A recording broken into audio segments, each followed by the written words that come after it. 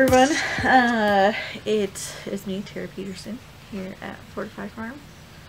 And Fortify Farms. I kind of said that very fast. Uh, and if you are new here, which most people probably are, because this is only like my fourth or fifth video. Sorry, uh, uh, hmm, I don't know what that was. Uh, I am in zone 6B in Missouri and I did a fall garden. This is my first year really doing a fall garden and I'm so glad I did. So if you didn't start a fall garden next year, start a fall garden. And there's a little bit of investment like you got to get some plastic to really like go into winter um, in some frost, frost fabric and the recommended I believe for plastic is like 6 mil I think is what they usually recommend. I got some 3 mil from Lowe's which I need to go get a tiny bit more to finish and I'll show you in a second. Um, but you need your frost fabric you need plastic covering. And one thing I learned recently with getting my frost fabric is that if it gets wet, it doesn't really do anything. So you definitely need some plastic to make sure it stays um, dry-ish. So there's that. Um, I do think, and I think that is true. I mean, I haven't had much experience with fall. So that I mean take that as it is. This last bit of cold that we had our first frost I did notice that the one sheets that got a little bit more wet they didn't keep my plants as warm but that's just off of one season. So you know you gotta experiment a little bit more longer than to say something's fully true but so far I think it is true. Maybe ones that are more experienced can weigh in on if they have had that experience or not. And yeah, so I have Brussels sprouts. I try to start carrots and I just, I did not. I had like three little sprouts when I planted several sprouts. So I did not have very good success rate. And next year I want to find a better, I don't know, better way of doing it. I don't know. Uh, so we'll, we'll change that. And I meant to start radishes and I didn't, which I was almost thinking maybe I should try.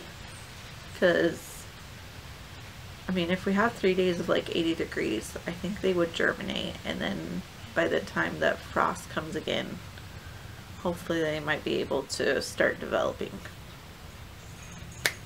You know, first first year of really doing a fall garden. So anyways, I'll show you guys what is going on. It's more green than last time, which makes me happy. Uh, but yeah. Okay, so I'm going to show you guys what is happening in the fall garden. The stuff that's working, and I already told you stuff that's not, which is the carrots, unfortunately, because I do like carrots. I just don't, I feel like eat them enough to purchase them from the store.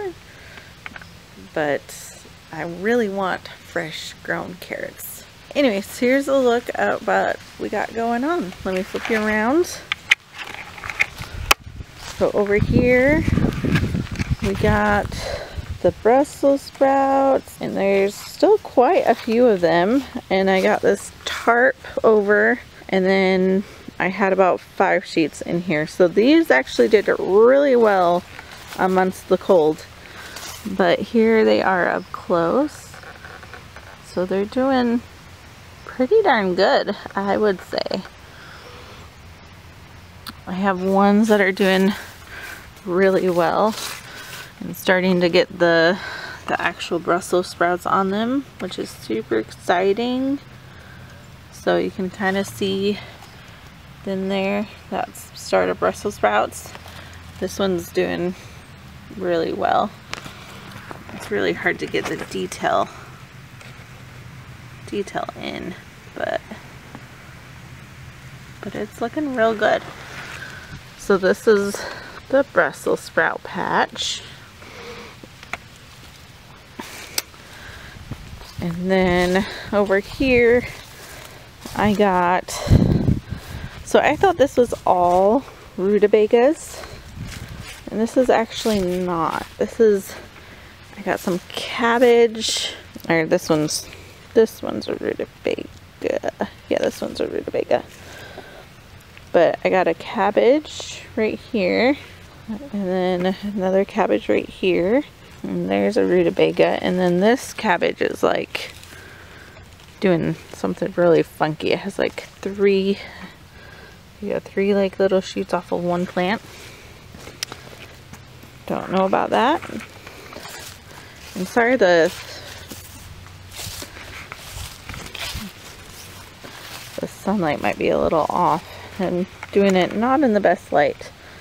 But when you have a baby that naps and then you still got to make dinner and stuff it's just the easiest time to do it but it doesn't make for the best like the best light I would I wish I could do it later but I just can't so we'll do what we got to do right now to make it work but and then in this bed I was supposed to have this was my lettuce bed these are all the frost fabric that I'm going to take in for those guys.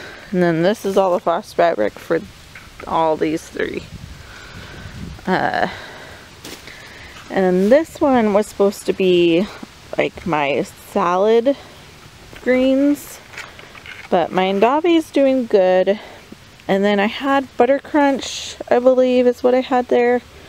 And then, shoot, off the top of my head, I can't remember this um, so maybe somebody else will know without me having to put the stuff on there. But I will put what this is once I get inside and edit. But this took off. This is doing real well. Because, I mean, it has three sprouts, which is pretty, I think, dang amazing.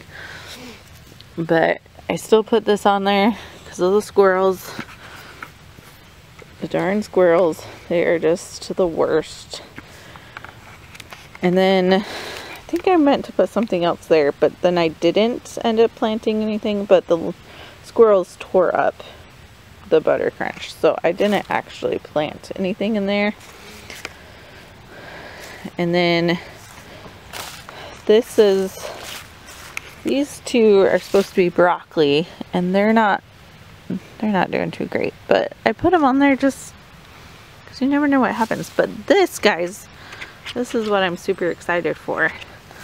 This little cabbage right here. Isn't that just, let me zoom in a little better. Isn't that so cute? Little cabbage forming. And this one's doing a little bit more like upright kind of cabbage. But this is, I'll have to post the variety that I have on it. I know it's a variety for like sauerkraut. I think it's called like Ezekiel something or rather. But I think it's called like Ezekiel something. Not 1% sure. I'll have to look it up and tell you guys. But I hope I get ahead and I can try sauerkraut. Ooh, that lighting's bad. Okay, and so on the porch, this stuff died a horrible death after the first frost. So my tomatillos and peppers are all done. I need to cut them off at the top so that way they still put nourishment in my soil. And then that's the broccoli that's it's it's not gonna make it, but and then on this I don't have anything in there, but I did order some seeds and I will put a, I think I'm to put some asparagus in here next like next time, next season of growing because I have been really wanting to try asparagus and it's going to take a while. And so I was like, I'm just going to start it. Just going to start it and we'll see what happens. Anyways, that's what I got going on. And I would say for anybody that is on the fence for next year, just try to grow. Do it. Um, because I think you'll be happy with it. We as in Missouri and 6B, we have a really long growing season. So I can try it. And most of the stuff peters out in like August here just because it gets so, it gets hot and humid, which is not, I mean, it's not a good mix for diseases and stuff like that with light and everything like that. So, and I noticed too, because there would be times where we'd have some cooler days, the the tomatoes also started not tasting as well. And so next year I'm definitely gonna do more fall and just kind of cut off my time with uh, summer. Because I have such a small area I I want to give some fall crops a chance but I do have to sacrifice some summer things which is makes me a little sad. I wish I had a huge garden and I can just keep my summer going while I have fall stuff, but I just don't. But and that's the one downside of being a small gardener is you can't you don't have that leeway to do that, which kind of sucks at times to be honest. But I mean, I'm still growing food. I'm still providing for my family I'm still tasting food that tastes amazing compared to some of the store-bought stuff. And so, yeah, but I don't know when I'll post another video exactly. I might post some stuff about getting ready for spring, uh, but I'm not 100% sure. I am really hoping this year for Christmas that I get a big like walk-in um, greenhouse to put inside. We have a cat, so I can't just like put it on shelves because my cat will eat it. We've had this already happen before. And for those that do have cats and maybe dogs, I don't know, maybe some dog people can hop on here and say, but I know for cats there's quite a few plants that are summer and that are dangerous to them that can actually kill them if they eat enough. And we had that experience happen because our cat threw up white foam.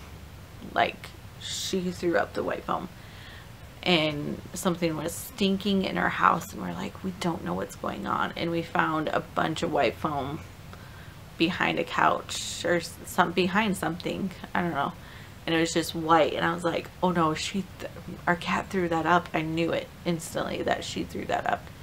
And I was like man if she ate any more she could have died. Because she, it was just it was bad. It smelled so bad.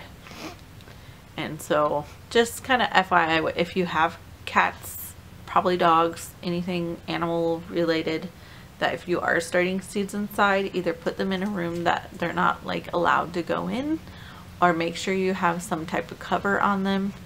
Uh, Amazon has some uh, shelves with the plastic over it, like a little greenhouse that you're, I think you're meant to put them outside, but you can use them inside. And then they also have some like bigger walk-in ones, which is what I'm really hoping that I get for Christmas. That way next year too I can I can do more like my herbs and stuff like that because I do run out of space with what I have. Anyways, I hope everybody has a good day um, and enjoy seeing some green during, I know some of you are very, very cold right now. I know uh, my peeps, my family up in Michigan, they got some snow on Halloween which I was like, oh, that brings back memories from when I was a kid and I lived there. But yeah, anyways, I hope everybody has a good day. And if you're in a cold place, that you get some hot cocoa and you stay warm. And I'm going to enjoy this day wearing flip-flops and shorts in the middle of November. Not middle of November, beginning of November.